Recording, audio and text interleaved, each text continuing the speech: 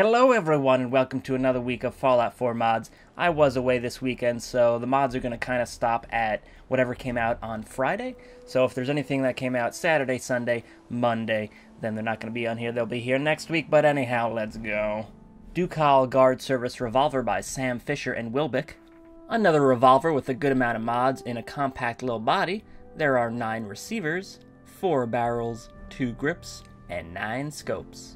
I like the variation of the barrels for this one, especially the silenced one, just because it looks different and it's, you know, it's a silencer suppressor on a revolver. That's always fun to see. Grenade Expansion Pack 2, M79 Grenade Launcher, and New Explosives by Sean MS 1991. The M79 launcher is just the tip of the iceberg with this mod. You get a plethora of ammo types, mines, and grenades as well. The ammo types can be used by the M79 launcher, and types can be switched by hitting the reload button. This is a must-have mod if you're leveling up or use explosives most of the time, since it expands the choice and options of what you have and how you can use them as well.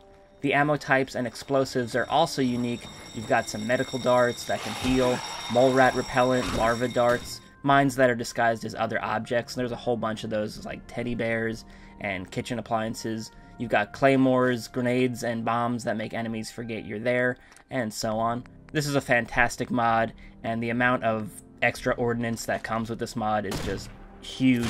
And uh, if you like explosives, this mod is, you gotta have it. Lever action rifle customization by Crimson Rider. Originally a simple retexture, this mod has expanded to a few more options that make the lever action rifle a bit more pleasing to the eye. You'll have to make all your choices with the installer when you activate the mod, so you can't pick and choose in game unfortunately. The textures are high resolution and can be easily changed with the installer though, so it's not so much of a big deal if you see one thing, but then later on you want to switch it back to another. Crude Blowback Standalone by AsXASD.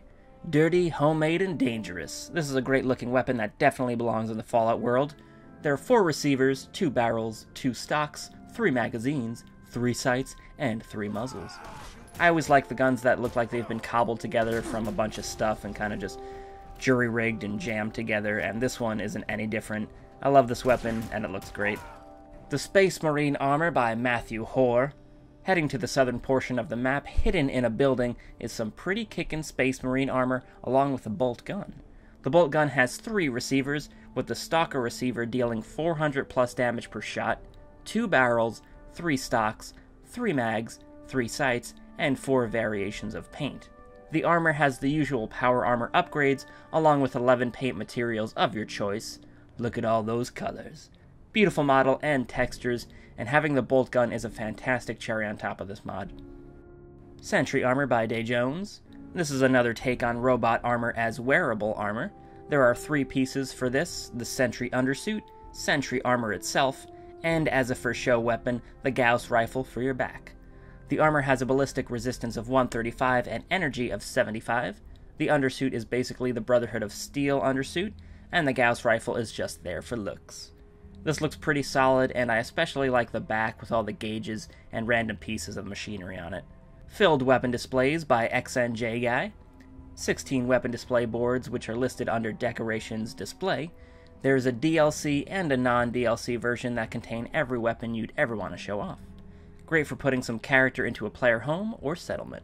CWS Redux, craftable working showers, sinks, baths, toilets, urinals, etc. By Steve Forty and FLipdeezy. Take a shower, wash your hands, then poop in the bath. That's right.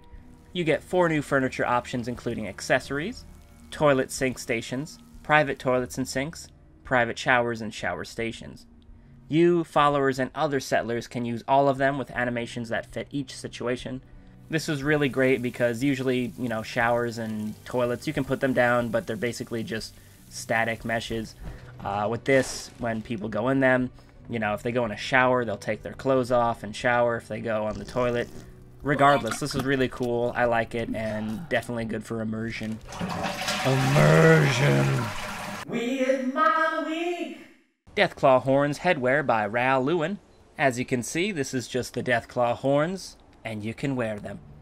At an armor bench, you can change the color of them, and you can also switch what angle they're at, which is really cool. The mod author has provided a little uh, cheat sheet as well, so you can see like, oh, what angle is the one that works for me, and you can do that. I spawned these in the creation kit, so I was able to put two on at the same time. I don't know if that's just something I did by accident, but I was able to put two on at the same time, and uh, this is really cool. Pretty interesting. Some people have asked if uh, a tail could be included, which I thought was kind of funny. Just slowly become a Deathclaw, but not really. But yeah, if you want to wear some Deathclaw horns, this is the mod for you. Alright everyone, that's going to do it for this week's Fallout 4 mods. Sorry if this one was a little bit shorter than usual. Like I said, I was away for the weekend and Monday, so I did not have time to shove all these sweet baby mods in there. So if you have any that I missed, put them in the comments and I will check them out. Thanks for watching everyone, hope you enjoyed, I know I did, and I shall see you in the future. Away!